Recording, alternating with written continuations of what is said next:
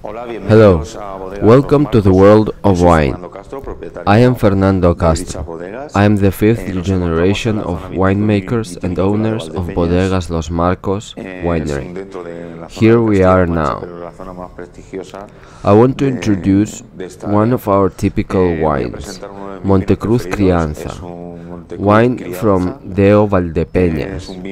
Valdepeñas is the oldest and most prestigious wine region of Castilla-La Mancha. The wine is made from 100% Tempranillo grapes.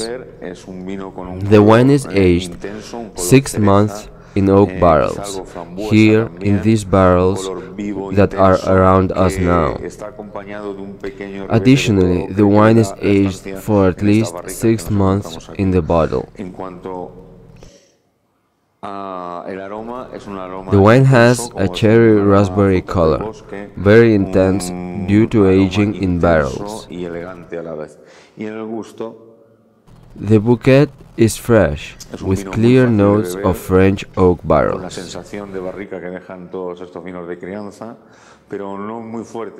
The taste of wine is very elegant, typical for the Tempranillo variety wines. Soft tannins make this wine very easy to drink. This wine goes perfectly with rice and any cheese. Recommended serving temperature is 16 to 18 degrees. I am sure you will enjoy this wine.